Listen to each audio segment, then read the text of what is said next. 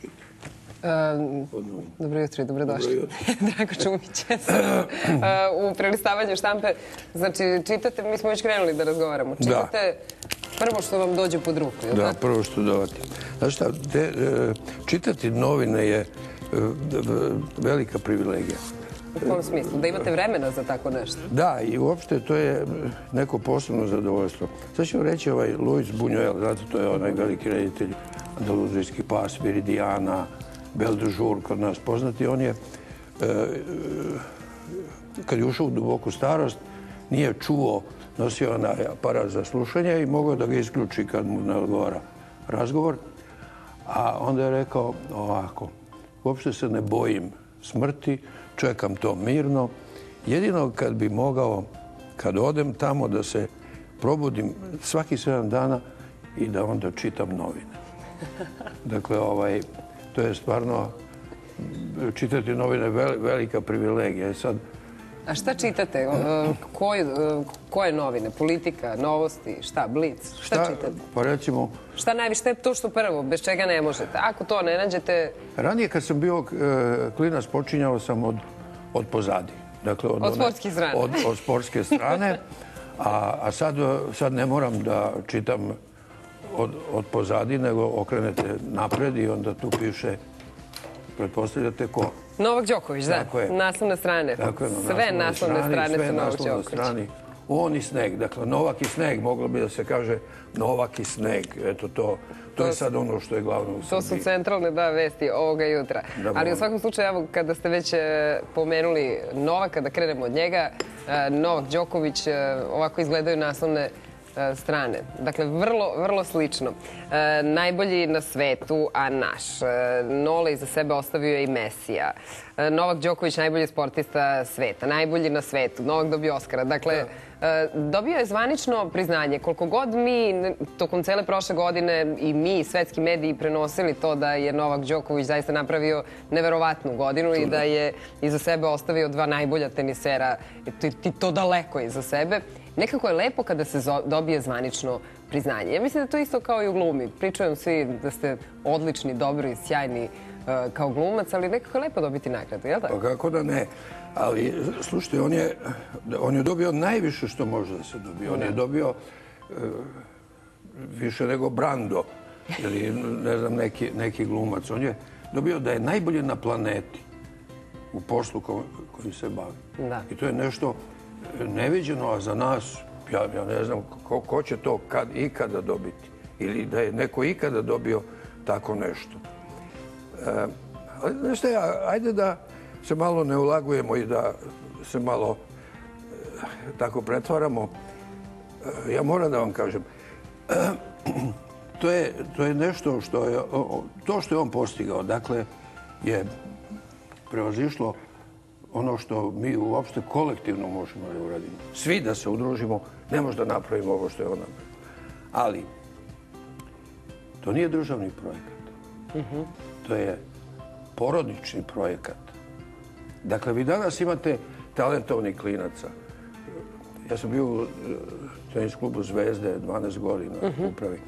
Ja znam koliko roditelji, da vi znate, nekoliko roditelja je umrlo, prodalo stanove, gurajući svoju decu da uđu u vrh, da, da se popenju, da ne računajući na te neke pare koje dođu naknadno, naravno, nego zbog slave i, i tako dalje.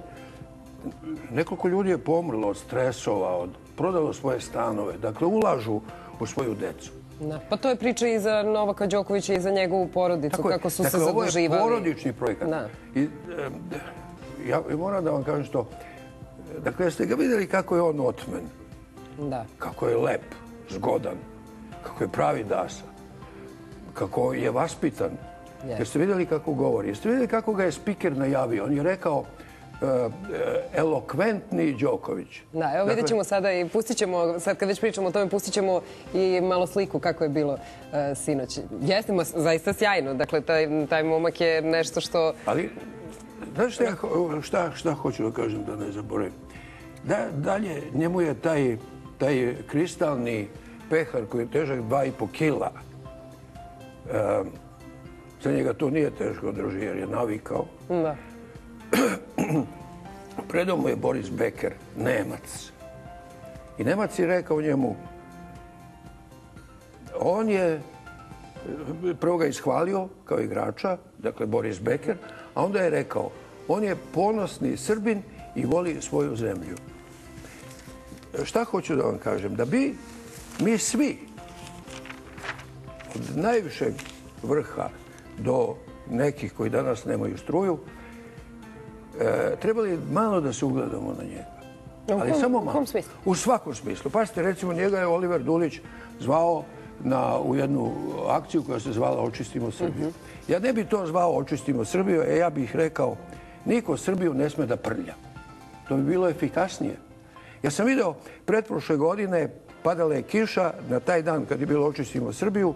Negde iz Naslavije su neki klinci sa dioptrijama, neke devojke e, bez silikona, e, sa onom špaklom e, skidali, skidali one izlepljene reklame i tako dalje i tako dalje.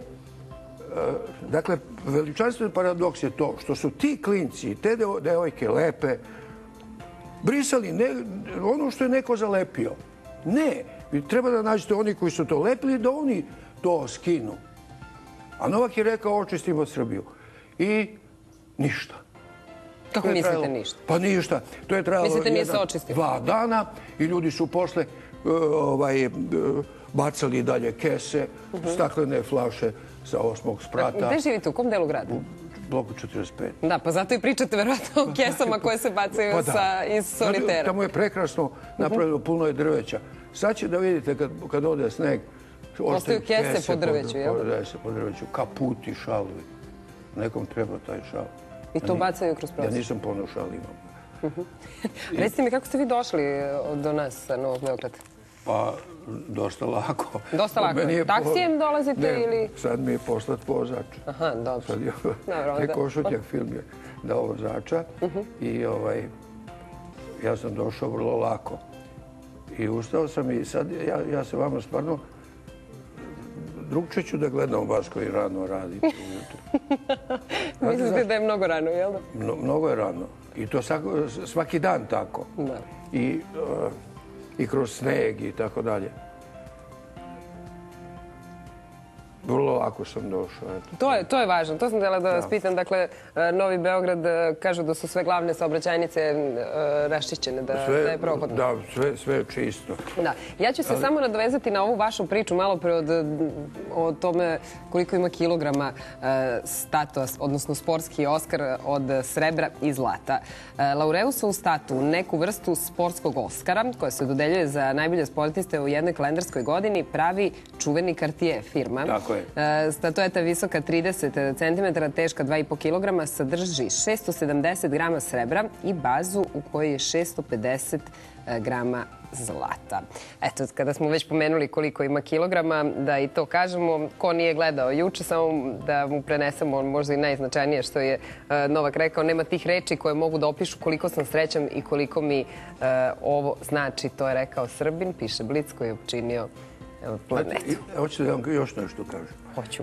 Ovaj, pašite, e, to što, što je taj držao, taj pehar i on je na to već navikao i nije mu to teško i toliko zlata i dijamanta. Ja sam samo pomislio gdje će to da čuva.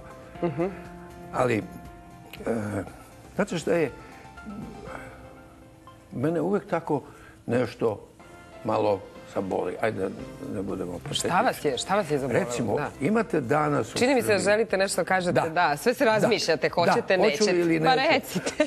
Slušajte, noćas, ovo što vi kažete, gledali smo. Ko nije gledao? Znate ko nije gledao? Ko?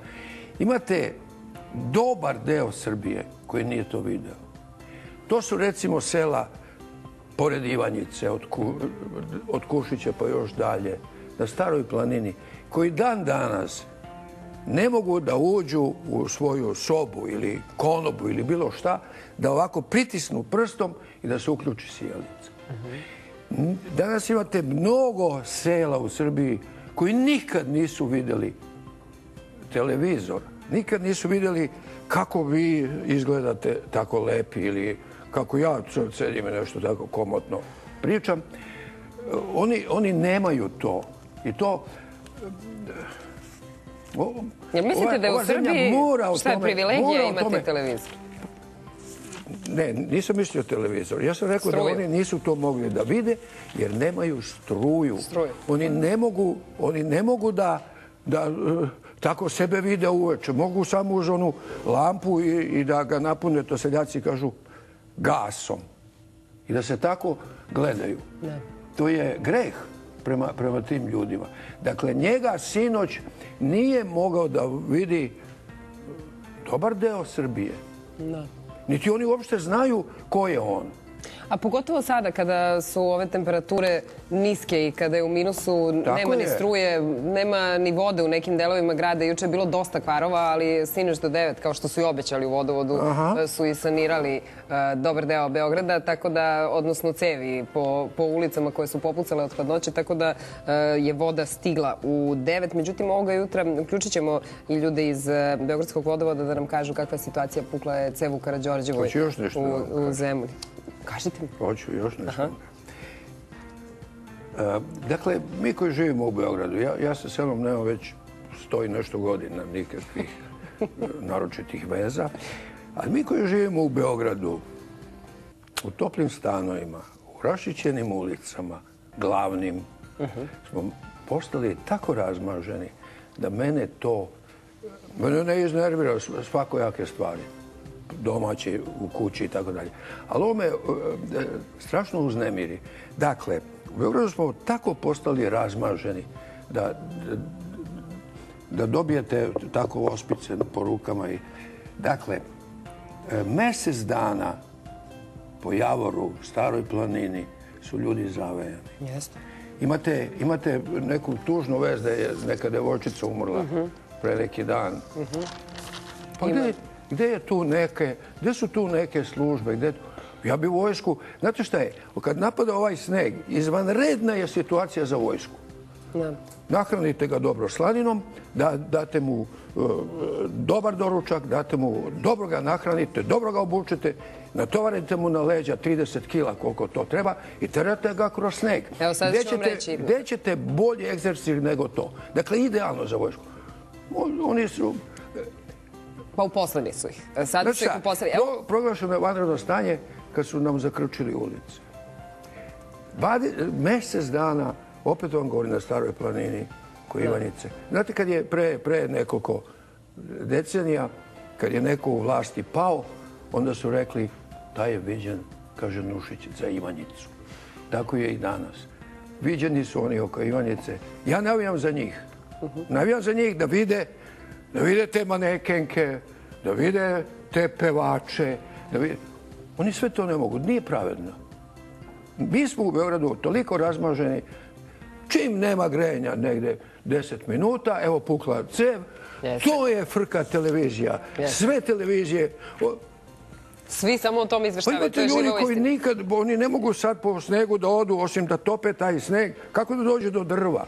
Evo sad ću vam pročitati nešto. Zavejani sa troje dece u planini. Eto, Radnici. Kušuminskog do- doma zdravlja spasili su juče troje ljudi iz zavejanih sela Merdare e, i, još e, nekih, a ugroženih ima e, i u Ivan Kuli, to su rekli iz te ustanove. I 10 sati su se oni probijali do njih kroz smetove i onda su stigli do kuće 66-godišnje e, stojanke koja je polomila kičmu u nedelju pa da je, kako bi joj pružili neophodnu pomoć. Pa onda Srećan kraj potrage u okolini e, jezera e, Vruci kod Dužica. Nestalog su našli u svojoj kući srećom kako kuva e, pasolje. Sve je, Tako je, pasolje odlična hrana. Da. Pa onda imamo imigrante u Subotici koji žive u šatorima na minus 20. Oko 100 imigranata iz Pakistana i Afganistana živi u Šumarku, nadomak e, Subotice u to su ovi koji beže od- Koji beže, jeste. Tako je. Pa onda imamo ledolomaca na Dunavu, zavejanima, poneo lekove i propao kroz led. 45-godišnjak, inače e, brodar preduzeća rezervati Uvac, e, humanost, humanost mu umalo, kako kažu u Blicu, nije došla e, glave u pokušaju da brodićem e, dopremi lekove meštanima zavejanim na obali Zlatarskog jezera. On je na minus 20 stepeni upao kroz led u hladnu jezersku e, vodu. E sad, tu su bile njegove kolege koje su ga, e, koje su ga spasile. Ja sam upao jedan put u vodu na minus šest. Da vas ne pitam kakav je U osjećaj. Savi, to je, ja mogu misliti, ja se osjećam sa tim gospodinom koji je koji je propao kroz led, ja znam kako je. A kako ste upali u vodu? Pa bio sam, bio sam malo sa društvom na, Na splavu na, na, na Savi. Ja sam Bila zima. Bila je zima i onda sam se okliznuo na minus šest. Kako, gde ste se okliznuli? Pa okliznuo se sa splava, je ovako kao sevica op, i tu sam pao dole, ali voda je bila dovde. I onda sam ja ovaj, na mišiće se... Na, pa da. e, nego recite vi meni kako, kako stoji situacija sa e, filmom Šešir profesora Koste Vujića, s obzirom da se vraćamo nekako, e, gledalci se vraćaju u bioskope, što je stvarno sjajna vest. Evo, to već jedno poslednjih e, godinu dana se nekako hvalimo svi time da je sve veća i veća posvećenost posle onog doba piraterije u našim bioskopima. Šta kažete vi za film? Samo reči hvale. Pa nego. Evo, ovo su je- i slike sa premijere Beogradske koje Jel gledamo. Da. Pa, e, Znate kako, to je ovaj, sasvim, e, sasvim logično e, što se ljudi vraćaju e, filmu, jer ako ste me pitali za Šešir profesora. Vujića, to je jedan e, lep, divan film, nežan, nežan film. To je treba bude, e, kako se to računalo, komedija, a ljudi su e, izlazili tako sa ovde u, u, Nedlu stoji neka knedla. Gledali ste film, jel da? E, ništa od prostakluka, ništa od, od onoga na što mi vrlo često ličimo. Sve u tom filmu. E, to je jedan, jedan dobro selektiran tim.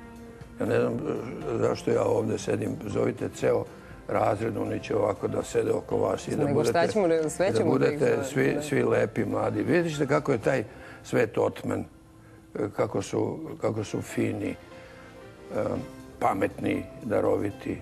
Dobra, Oni- nova, oni- oni dobra nova liče- mlada generacija. Odlično. Oni liče malo na Novaka i trude se. Dakle, malo ga... On, on kaže Novak, se vratio na njega, on kaže, ajde da svi malo učinimo nešto, samo malo, koliko ko može, pa da nam svima bude bolje. A to ode tako u vazduh i nikom ništa. Dakle, treba, ajde da ne, ne moramo nikog da slušamo, samo to. Ovi momci izgleda da hoće da liče na, na njega, hoće da budu prvaci, hoće da budu najbolji na planeti. Možete biti I kako je raditi sa njima? Uopšte kad neko ima takvu ambiciju e, koja je, kažu, odlična za, za posao, barem kada, kada ste mladi, kada ste u početku, kako izgleda raditi sa njima? Da li to znači da su onda e, vrlo saradljivi, ajde Da, e, tako kažemo, i da slušaju savete starije generacije ili imaju neki svoj stil? Znate kako? Oni su, kažem, dobro selektiran tim. Kao od, od golmana pa do levo krila. Imaju kapitena, tu im je bio Berčak, koji je izvanredan kapitan bio. Imaju trenera, reditelja Šotru. E, I taj tim funkcioniše. Kao, kao zvezde 91. godine. Sam zvezda. Dobro, Sad je- sad je- ne čudi sad je- me. sad je Pomenuli ste zvezdu već jedno treći put. Stvarno, sad je ot- otišla, otišao je taj tim nigde, ali je taj tim je odlično pravljen, biran. Oni su svi, e, sad smo Berček i ja bili u, u Novom Sadu i mi razgovaramo i kaže, "Bre, pogledaj kako su odlični u kafani, u, uz, uz muziku, u pola jedan uveče, noću. Ništa od, od primitivnosti. Ni, otmeni, fini, mladi ljudi. E, ceo tim je odličan. A što vi kažete, oni imaju svoju ličnost, zato su tu gde jesu. Imaju svoje, što kažu ovi, personality. I šta ima da slušaju? Ne, slede svoj ritam i svoje srce. Gde je bila nekako, ili uopšte, da li je to pitanje ispravno, reći ćete mi vi, gde je bila nekako lepša premijera, lepša, gde je bilo više emocija, gde je publika Ja sam bio- glumce bolje dočekala? Evo ja ću vam reći. Ja sve kontra govorim. Ono što neće da vam kažu. Pa zato smo vas Dakle, zvali. ovaj, ne znam da ćete opet. Neko će reći, pusti, nemoj da ga... Dakle, bile su dve premijere u Savar centru. Jedna u šest, jedna u devet. Svi moji e, drugari, ja sam rekao, ja nemam tamo nešto mnogo, imam igram nekog direktora ko- koji bude otpušten zbog tih nestašluka, tih đaka, ali dođite da vidite Berčeka i film. Svi su mi tražili, hoće u devet. Kažu, dolazi ovaj, dolazi ovaj, dolazi ovaj, dolazi ovaj. Ja, sam muku mučio da, da nađem kar. Ne samo ja, nego cijela ekipa za devet sati. I neke sam našao. A onda sam mi rekao, idete u šest. Neće oni u šest. Pa ja kažem, imate, glumci vam se klanjaju i u šest i u, u A devet. isti je film. Isti je film. Izgleda. Pre, ta publika u šest sati je bila bolja od publike, Jeste. jel jeste? Jeste, jeste. Bolja od one publike u devet. Dakle, mi svi hoćemo da smo u devet, a izbjegamo to u šest. Izgleda da je to u šest bilo bolje. Dakle, u Beogradu je premijera u šest sati bila bolja što se tiče glumaca. Glumci su pokvareni, oni tačno znaju sekundu koliko je to bilo, koliko je to trajalo i kako znaju. doći. Dakle, tu je bilo, a u Novom Sadu je bilo isto perfektno. Da. Bile su tri, četiri sale, svuda su to bili ovako ovacije, aplauzi. Da. Sve čestitke i hvala vam na, na svim komentarima. Zvaćemo vas ponovo uskoro. Ne znam da ćete. Hvala vama. Hvala. Evo da vidite kako